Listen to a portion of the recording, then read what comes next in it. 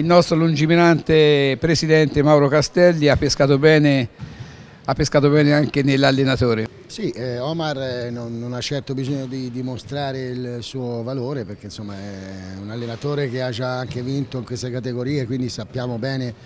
quello che, che è capace. È chiaro che eh, entrare in corso d'opera in una squadra così un po' difficile e fare 5 partite e 5 vittorie su 5 ovviamente eh, bisogna anche dargliene atto, no? quindi ottimo lavoro, bravi tutti, bravissimi. L'unica cosa è che dobbiamo però non calare la tensione come abbiamo fatto oggi nei primi due quarti secondo il mio punto di vista e so che è difficile dire, paragonarsi con una squadra che magari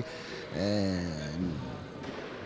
diciamo, è un po' più debole, no? quindi si, si, gioca peggio, però questo non significa che, non do, che do, diciamo, dobbiamo dimenticarsi questo termometro a casa e ripartire da quello della settimana scorsa perché domenica andiamo ad affrontare una squadra temibile come Costone Siena e dopodiché arriva Prato, quindi adesso dobbiamo pensare veramente a fare un passo importante in avanti, dobbiamo provare a vincere queste partite, sarà molto dura ma dobbiamo provarci a tutti i costi.